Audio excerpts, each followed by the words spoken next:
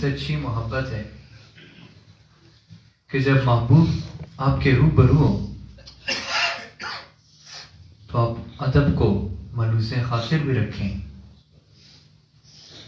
उसकी बातें दिलो दिमाग में भी रखें। लेकिन मोहब्बत का इम्तहान तब शुरू हो जाता है जब महबूब उसका जलवा आँखों से ओझल हो जाए तो इम्तिहान उस वक्त शुरू होता है कि वो उसकी बातों का कितना पास रखता है।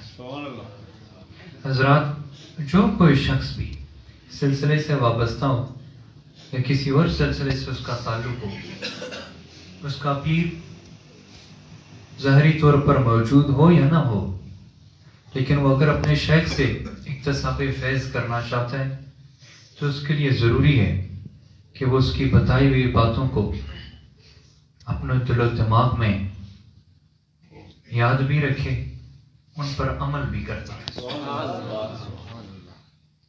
और हजरात, इसीलिए ये महफिल आज भी कायम दायम है कि इसकी बुनियाद आपके और मेरे शेख, हजूर शेख आलम रहमत ने रखी, ताकि जो शख्स दूर नज़दीक से यहाँ आए, मोहब्बत के साथ अपने खालिक को याद करे तो जब यहाँ से उठ कर जाए तो एक नई ज़िंदगी ले।